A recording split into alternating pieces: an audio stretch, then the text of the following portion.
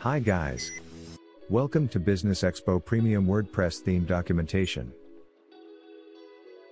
In this video, we will let you know how to apply Business Expo Premium pre-built blog page templates to the blog page. Go to the Pages menu and click on the All Pages submenu.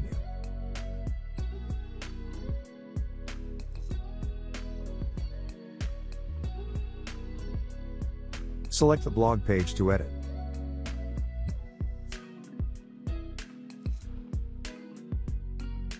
By default, the title is already added, now select the blog grid template and update the blog page.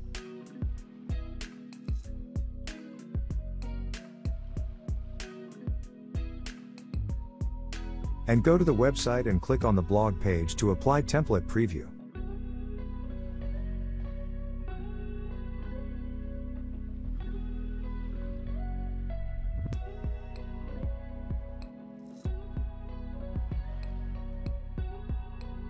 And you can assign any of the blog templates which best looking for you.